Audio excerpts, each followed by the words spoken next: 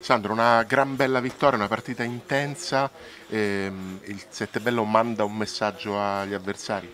Ah, ma, ma lo mandiamo a noi stessi prima di tutto perché queste sono le partite, eh, stiamo abbastanza bene fisicamente però eh, dobbiamo tenere questo ritmo per ancora quasi 14 giorni, ci sono ancora tre partite del girone più altre tre, sei partite in 12 giorni, quindi è una cosa che dobbiamo essere forti fisicamente e soprattutto mentalmente.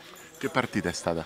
Partita molto bella, molto fisica, all'inizio il loro uomo in più eh, ci metteva in grande difficoltà, soprattutto con i mancini, eh, poi siamo anche andati sotto di due reti e la squadra è stata brava a non disunirsi, a ritrovare l'energia col gioco e nonostante poi siamo andati in pareggio a fine secondo tempo, poi ho detto ai ragazzi che stavamo giocando bene, di avere fiducia e di giocare d'insieme. Poi si sono viste anche delle giocate individuali ma all'interno di un gioco molto collettivo dove tutti entravano, tutti sapevano quello che dovevano fare. L'ultimo quarto senza più giocatori in panchina. Sì, è incredibile, 5 per 3 falli non mi era forse mai capitato nella storia.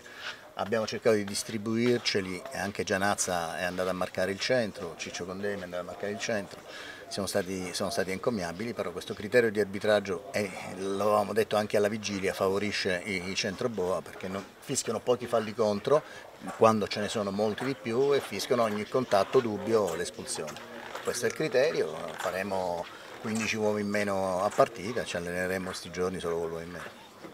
Grazie.